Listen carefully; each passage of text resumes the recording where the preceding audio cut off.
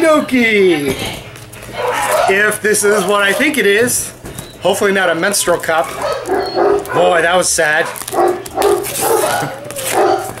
it said Master Flex, ended up being a menstrual cup. Son of a bitch.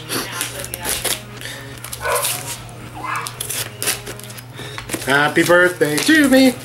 Happy birthday to me. Something I have always wanted.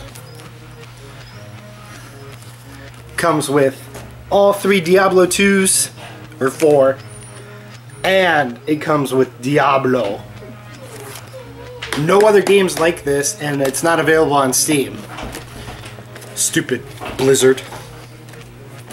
Blizzard, you can make a ton of money if you put it on Steam, man. Why would you put it on Steam? Just put the damn games on Steam. Let them sleep in your bed. Ooh, I think it was brand. I don't think it was brand new, but I just opened it because it's not brand new. He had pictures of it wide open. I've always wanted. I've only played this game once for about a couple hours at my cousin's house, but I defeated Diablo about five times because I'm slapping the bass. Also, I got Rocksmith on Steam. Got it about a year ago. Finally able to use it. Okay. Let's see.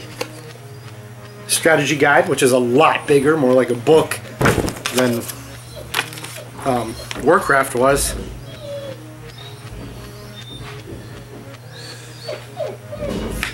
Okay, that little. Up oh, there it is. The tiny Bible. Ooh. Is for the expansion set and a tiny Bible for the uh, Diablo 2.